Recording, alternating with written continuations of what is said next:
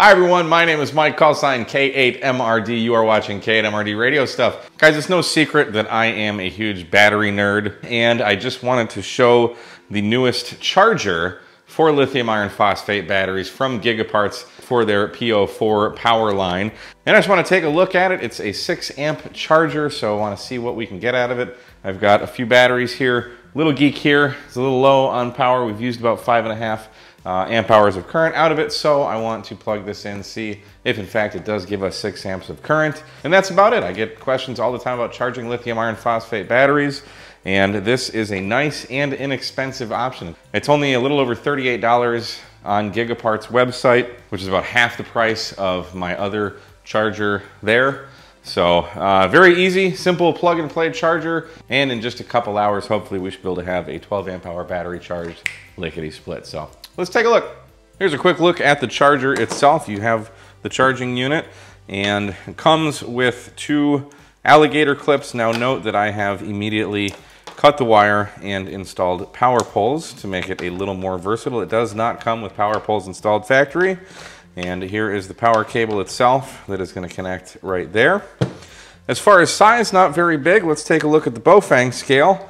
Looks like we are uh, just uh, about one and maybe a maybe a quarter Baofengs wide and just a touch under two Baofengs long and about one Baofeng in thickness. Now, even though I put power poles on everything immediately, it is a nice feature that we have these alligator clips. These PO4 batteries come with these uh, types of terminals, and that will simply allow us to clip the alligator clips on the battery and go ahead and get it charged. Or you can make a wiring harness like I've done and charge it via power pole like such, or charge other types of batteries that have power poles on them. Now let's go ahead and plug it in and we can see right off the bat, notice here, we get these little LEDs that came on, uh, I would assume to kind of just test it or let you know it's on. We've also got this red LED indicator to let us know the thing is powered on. And this bit right here is simply a guide to let you know what these things mean. So uh, if the first LED is lit, you're 20% charged, the second is 50%, the third is 80%, and the fourth is 100% charged. Now let's test the charging capabilities of the charger. Uh, you can see on my meter, I've used about 6.6 .6 amp hours out of the 10 amp hour battery that's inside of here. I'm to go ahead and when I flip this power on, this meter right here is the current. So that's going to show us our current. Now I've cleared out the watt hours and I've cleared out the running time. As this starts charging, we're going to see the amp hours uh, here and we're going to see the run time here and uh, we'll come back when this is charged and see how uh, long it's going to take it. So let's flip this on.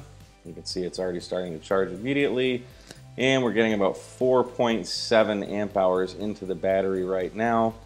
So we'll let this go until it's charged and we'll come back. We can also take note, if we don't have a meter like this, we do have these lights down here at the bottom indicating the first two lights are on. So uh, we're definitely at least 50% powered according to this, and these two are blinking. So once those are all full, hopefully this will show zero current going in.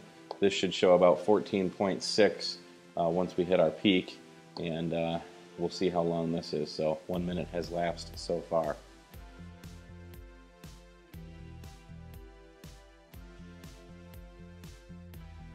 That was an interesting test. Took about an hour and 55 minutes to put about 6 amp hours into the battery and now this is fully charged.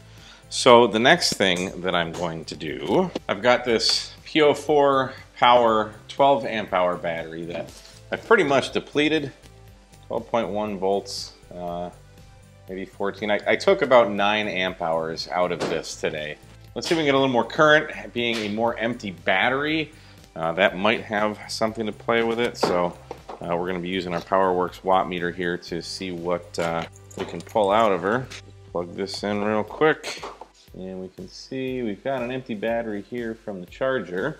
We're pulling 4.85 amps out of the uh, charger, so still not seeing that 6 amp capacity, but uh, let's let this run and we'll see how long this takes.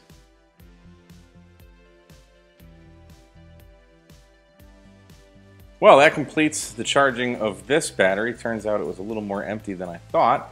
We ended up putting uh, 11 and a half amp hours in the battery in just uh, just about two and a half hours. So that equals about 2.6 amp hours of current on average going into the battery. So a little shy of the 6 amp uh, charge that this is uh, advertised as. As far as these indicator lights are concerned, I would say they're pretty uh, accurate. Right around the right around about the 8 amp hour time on the meter, this was showing a steady uh, light here, and then this was just blinking. So that's pretty nice that that's a fairly decent gauge as to uh, the capacity of your battery. Most lithium iron phosphate batteries don't have a meter on top there, so that's uh, always nice to see there.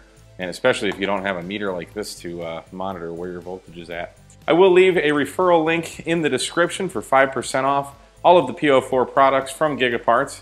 So there we have it, the PO4 Power 6 amp charger, available exclusively at Gigaparts. Not quite getting all 6 amps of current out of it as advertised, but uh, to be honest, my more expensive high-tech charger that has a lot more programmable functions and charges all kinds of different chemistries of battery uh, and is advertised at 6 amps only gives about 4.5 amps as well. But for a charger uh, of this capacity for under $40, I like that it has the LED indicator to give you somewhat of an indication of the state of charge. That's something that other chargers in its class do not have, so certainly worth it. And to charge a 12 amp hour battery in uh, just about two and a half hours, that's pretty darn good. So, and if you're interested in picking one of these up or one of the PO4 batteries from Gigaparts, I will leave a link for 5% off in the description. So do follow that if you're into saving money. Other than that, until the next time, we'll see you again on another episode of K8MRD Radio Stuff. 73 guys.